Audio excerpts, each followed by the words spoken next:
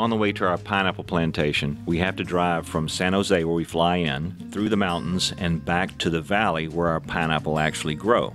It's about a two hour drive, and on that route, we pass over the mountain and on the other side, pass by a tiny village that was growing coffee. It was their sole crop. And the town was named Cinchona. There's about 100 people in the town. And for a number of years, we drove past them on the way to our pineapple crop, where we were managing the pineapple we were bringing up to the United States to sell in our fruitcakes. So as we were driving down the other side of the mountain towards our plantation in the valley, we noticed this town and we passed through it a number of times and finally decided our curiosity to stop. Uh, they were always tending these coffee plants. Found out it was a town of about 100 people and they were all devoted to their coffee plants, which they tried to sell at a nearby cooperative. Sometimes they were successful with it, sometimes they weren't. So the uh, this entire town relied on this coffee for its income. Uh, the coffee was a very high quality, so we offered them a deal uh, we would buy their entire crop, guaranteed buy their entire crop,